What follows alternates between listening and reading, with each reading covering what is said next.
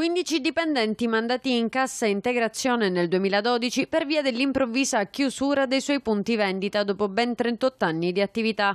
Un fallimento causato a suo dire dai troppi debiti con le banche, ma che oggi viene smascherato mostrando le sue reali cause. È di bancarotta fraudolenta in concorso l'accusa che pende sull'ex presidente di Confcommercio ed ex vicepresidente della GESAP Roberto Elg. Insieme a lui, come riporta Repubblica Palermo, indagati nella stessa indagine anche il fratello Fulvio e la figlia Cinzia. L'inchiesta prende il via dal fallimento delle due società GR SRL e Frigideire SRL nell'ambito della gestione di negozi di cristallerie, argenterie e arredamento per interni ed esterni, aziende di cui Elga era amministratore di fatto e componente del consiglio di amministrazione.